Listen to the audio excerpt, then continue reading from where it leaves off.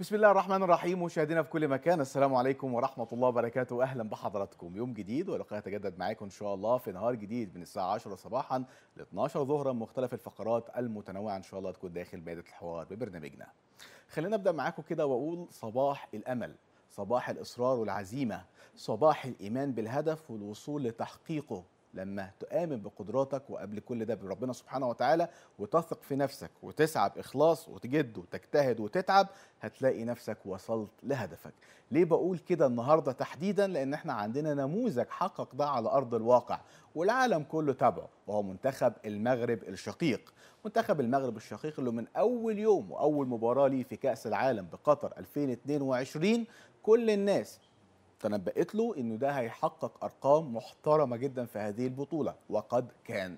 شفنا أداء متميز إيمان بالهدف حلم كانوا بيحلموا بيه من زمان اجتهدوا وتعبوا ثقة كبيرة جدا ما بين اللعيبة تنظيم محترم عمل بما يرضي ربنا سبحانه وتعالى اجتهاد كبير جدا جدا جدا ما بين اللعيبة والجهاز الفني وكانت النتيجة إيه؟ إن هم وصلوا للمربع الذهبي ومين عالم إن شاء الله إن هم ممكن ياخدوا البطولة. وليه لأ؟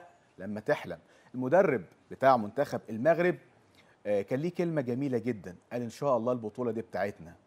مش اللي بيحصل للأسف في بعض المنتخبات الثانية يقول لك إن شاء الله بس حتى نوصل لدور ال 16 ده إحنا لو وصلنا لدور الثمانيه يبقى إحنا حققنا إنجاز.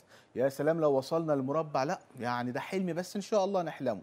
زمان كانوا يقولوا لنا في المدارس لما أبوك يقول لك أنا عايز امتياز في التقدير بتاعك فده معناه إن هو عايز على الأقل جيد جدا.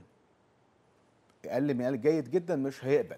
فإنك أنت تحلم بالطموح الأقصى ده مش عيب ولا حرام. وإن أنت تآمن بهدفك بالعكس ده دي أهم أساسيات النجاح إن يعني أنت تآمن بهدفك وتسعى لتحقيقه. عشان كده بقول مليون مبروك لمنتخب المغرب الشقيق.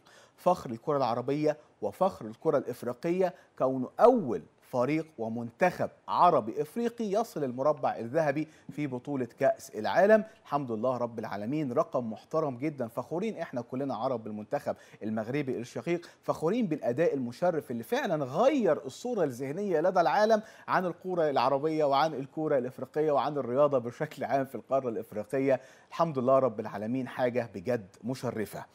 يعني تحية إجلال وتقدير لكل من ساهم في هذا النجاح. ليه أنا بقول كده؟ لأن فعلا يستحقوا لأن هم تعبوا لأن هم أمنوا بهدفهم ووصلوا الحمد لله لتحقيقه. وإن شاء الله بإذن الرحمن المقابلة الجاية يوم الأربعاء القادم مع فرنسا يكون إن شاء الله النجاح حليف.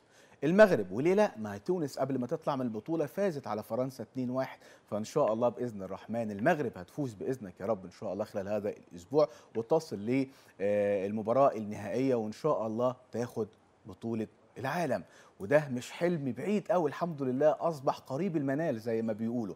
وده مش كلامي ده كلام حتى المدرب بتاعهم إنه مش حاطط عينه على مركز تاني ولا تالت ورابع لا ده حاطط عينه على الكاس اللي هو المركز الأول.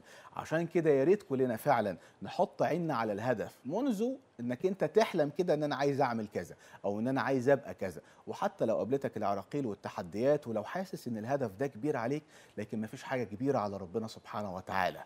آمن بربك ثم آمن بقدراتك وموهبتك وتوكل على الله واخلص النية. واعمل بجد واجتهاد وإن شاء الله النجاح هيكون حليفك وعندك نموذج بأكده تاني منتخب المغرب الشقيق اللي هم ما شاء الله شرفونا بجد في العالم كله بالأداء المشرف والحمد لله رب العالمين إن شاء الله. يعني عندي أمل كده وعندي إحساس إن هم يوصلوا لمراكز متقدمة في هذه البطولة ويصلوا لتحقيق يعني حلمهم والحلم العربي بل حلم القارة الإفريقية.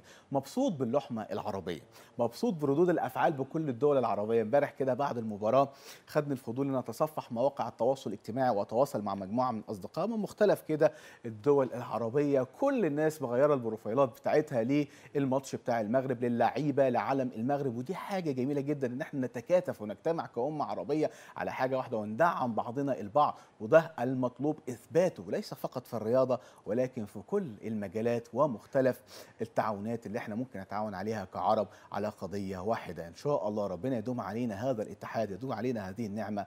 وكل التوفيق إن شاء الله للأمة العربية في مختلف المجالات. صباح الإنجاز صباح الفخر والعزيمة. نسمع أغنية ونرجع نعرف تفاصيل حلقتنا النهارده من نهار جديد.